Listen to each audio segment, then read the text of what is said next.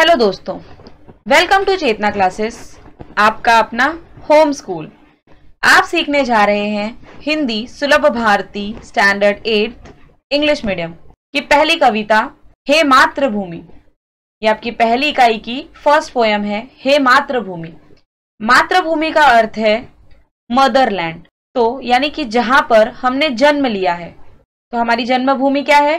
भारत। मगर आप लोगों में से कुछ लोगों का कहना होगा कि हमने महाराष्ट्र में जन्म लिया है। हाँ तो महाराष्ट्र को भी हम अपनी जन्मभूमि, यानी कि मातृभूमि कह सकते हैं।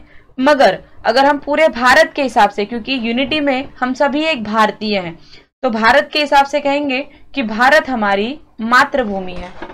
इस कविता को राम प्रसाद बिस्मिल जी ने लिखा है। आइए इनका परिचय देखते हैं। इनका जन्म अठारह सौ शाहजहांपुर, उत्तर प्रदेश में हुआ था, और इनकी मृत्यु 1927 गोरखपुर, उत्तर प्रदेश में हुई थी। राम प्रसाद बिस्मिल जी भारत के महान स्वतंत्रता सेनानी ही नहीं, बल्कि उच्च कोटि के कवि, अनुवादक, बहुभाषाविद व साहित्यकार भी थे। आपने देश की आज़ादी के लिए अपने प्राणों की आहुति दे दी तो इन्होंने देश को आज़ाद कराने के लिए अपने प्राणों की बलि चढ़ा दी और इनकी बहुत ही प्रसिद्ध रचना है सरफरोशी की तमन्ना। राम प्रसाद बिस्मिल जी का बिस्मिल, ये उनका उपनाम था और इसके अतिरिक्त राम और अज्ञात, इन नामों से भी उन्होंने कविताएँ लिखी हैं। इनकी प्रमुख कृतियाँ हैं, मन की लहर, आत्मकथा आदि। आइए पद्य संबंधी परिचय देखते हैं। प्रस्तुत कविता में क्रांतिकारी एवं स्वतंत्रता सेनानी कवि राम प्रसाद बिस्मिल जी ने मातृभूमि के प्रति अपने प्रेम एवं भक्ति भाव को व्यक्त किया हुआ है। राम प्रसाद बिस्मिल जी एक क्रांतिकारी और स्वतंत्रता सेनानी थे। उनके अंदर भारत को लेकर, अपनी मातृभूमि को लेकर जो प्रेम था, जो भक्ति भाव था, उसको उन्होंने इस कविता में व्यक्त किया है। यहाँ आपने मातृभूमि की सेवा करने और देश हित में निछावर हो जाने की लालसा व्यक्त की है। तो यहाँ पर बिस्मिल जी ने मातृभूमि की सेवा करने की अपनी इच्छा को और देश हित के लिए, यानी कि देश की भलाई के लिए अपना सर्वस्व निछावर करने की लालसा व्यक्त की है कि अगर देश को ज़रूरत पड़ती है तो मैं इस पर अपना सर्वस्व लुटा सकता हूँ। तो आइए, इनके देश प्रेम को यहाँ पर हम देखते हैं इस कविता के द्वारा। हे मातृभूमि तेरे, चरणों में शीश नवाऊं। मैं भक्ति भेंट अपनी तेरी शरण में लाऊं। हे मातृभूमि तेरे, चरणों में शीश नवाऊं।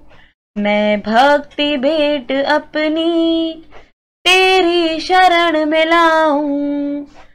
माथे पे तू हो चंदन, छाती पे तू हो माला जिवा पे गीत तू हो मेरा, तेरा ही नाम गाऊं। हे मातृभूमि तेरे, चरणों में शीश नवाऊं। मैं भक्ति भेंट अपनी, तेरी शरण मिलाऊं जिससे सपूत उपजे। श्री राम कृष्ण जैसे, उस धूल को मैं तेरी निज शीस पे चढ़ाऊं।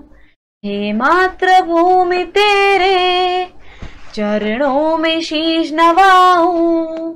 मैं भक्ति भेंट अपनी तेरी शरण मिलाऊं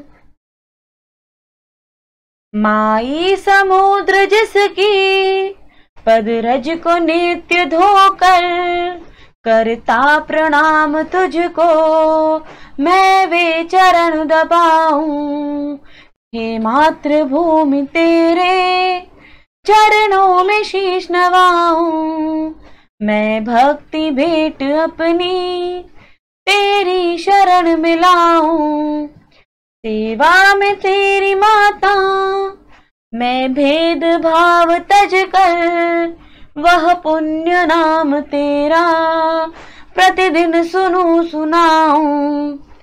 हे मातृभूमि तेरे चरणों में शीश नवाऊं, मैं भक्ति भेंट अपनी तेरी शरण मिलाऊं। तेरे ही काम तेरा ही मंत्र गाऊं, मन और देह तुम पर बलिदान मैं जाऊँ।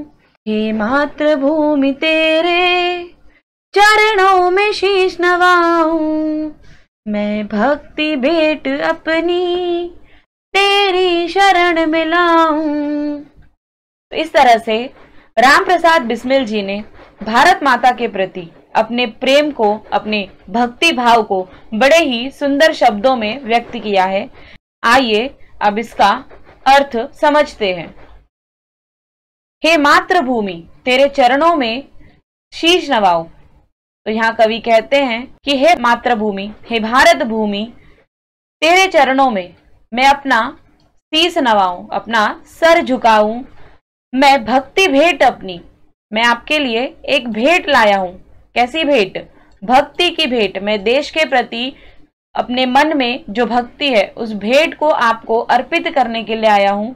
तेरी शरण में लाऊं। आपकी शरण में मैंने अपने भक्ति के भाव को अर्पित किया हुआ है।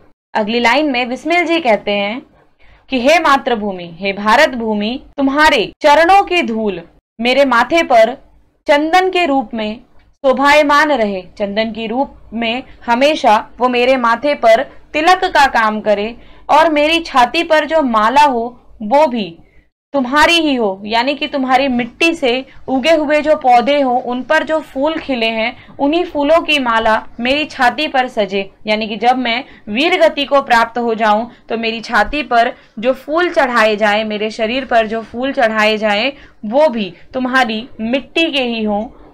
अपनी मातृभूमि के गीत ही मेरी जिह्वा पर, जिह्वा यानी कि जीभ। मेरी जीभ पर हमेशा जो गीत हो, वो मेरी भारत भूमि, मेरी मातृभूमि का ही हो। ऐसा वो अपनी मातृभूमि से कहते हैं कि तेरा ही नाम मैं हमेशा गाऊं, जिससे सपूत उपजे। कवि कहते हैं कि हमारी भारत भूमि, हमारी मिट्टी में जो सपूत सपूत का मतलब होता है अच्छे पुत्र, सुपुत्र। तो जो सपूत उपजे कैसे है वो? राम कृष्ण जैसे। तो जिस भारत भूमि पर राम जी जैसे, कृष्ण जी जैसे सुपूत जन्म लेते हैं तो उस धूल को मैं अपनी निज निज यानी कि अपनी तीस अपने सिर पे धारण करूँ, अपने सिर पर मैं उस धूल को चढ़ाऊं। किस धूल को? उस भारत माता की धूल को जिस पर राम कृष्ण जैसे सुपुत्र जन्म लेते हो। कवि कहते हैं, माई। समुद्र जिसकी पद रज को नित्य धोकर, माई, यानी कि भारत माता। भारत माता का जो दक्षिणी छोर है, अब भारत का मैप देखिए तो उसका जो दक्षिणी छोर है, वो महासागरों से घिरा हुआ है। तो ऐसा प्रतीत होता है, जैसे समुद्र भारत माता के चरणों को, पद यानी कि चरण, उनके चरण कमलों को, उनके चरण कमलों में जो रज, यानी कि धूल लगी हुई है, उसे नित्य धोता है। तो कवि क्या कह रहे हैं कि भारत माता के चरणों को समुद्र हर रोज धोता है, करता प्रणाम तुझको और उसे धोकर प्रणाम करता है। मैं वे चरण दबाऊं तो मैं भारत माता के उन चरणों को दबाऊं, जिसे समुद्र हर रोज धोकर प्रणाम करता है।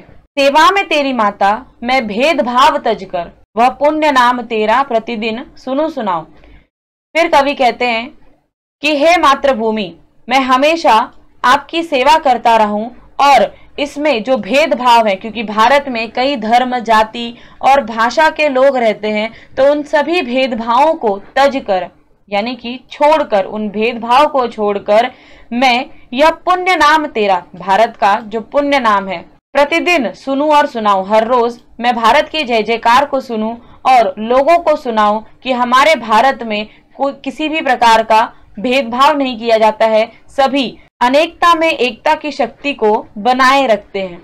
कवि कहते हैं अगली लाइन में, तेरे ही काम आओ। मातृभूमि से कहते हैं कि, हे मातृभूमि, मेरा जन्म कुछ इस प्रकार हो कि मैं हमेशा तेरे ही काम आऊँ और तेरे ही मंत्र को मैं गाऊं, यानी कि भारत के गुणगान को ही मैं हमेशा गाऊं।